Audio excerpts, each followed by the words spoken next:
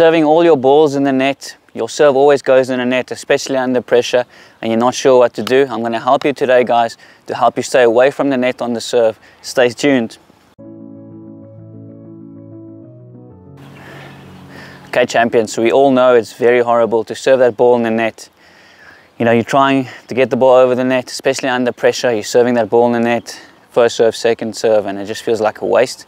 I'm going to give you three things today that you can focus on next time. When you see the ball start going in the net, focus on these three tips and I can guarantee you that ball is going to start going over the net into the block, okay? The very first mistake that, that you're probably making is you don't realize it, but you are pulling, when you're serving, you're pulling down your left arm too hard, too soon.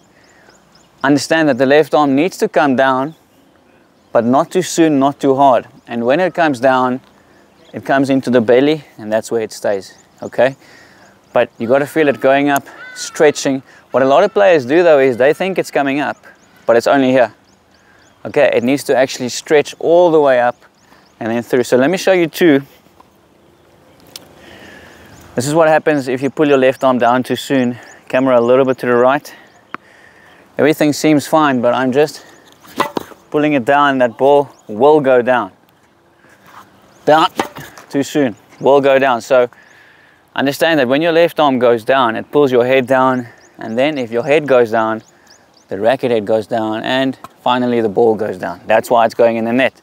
What you want to do is, you want to feel it stretching up, stretch first and then serve and keep it up for long enough. Just before contact, you can start releasing a little bit. Stretch over the net. Stretch over the net. That's the first step, guys. Stretch it. This is not enough. Stretch up that arm.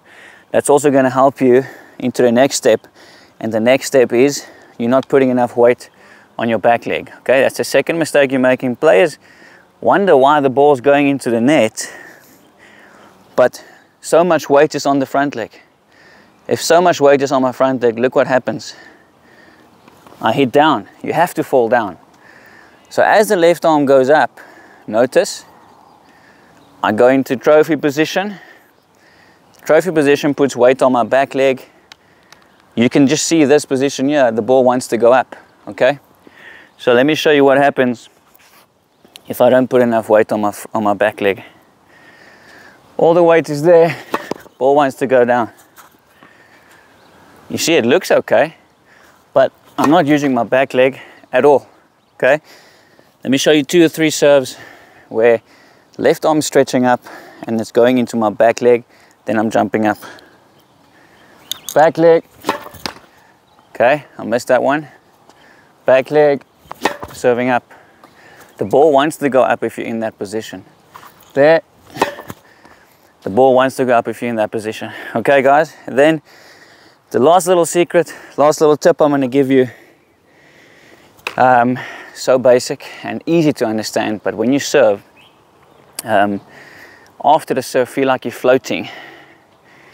Feel like you're floating in the air. Have you ever seen Federer serve? Most of the good servers, when, when they're done serving, it's almost like they're still looking up. It's like they want to float in the air. So don't serve and feel like I'm serving and the serve is done, okay? Serve and keep floating up I'm looking up, I'm floating in the air and then release, okay?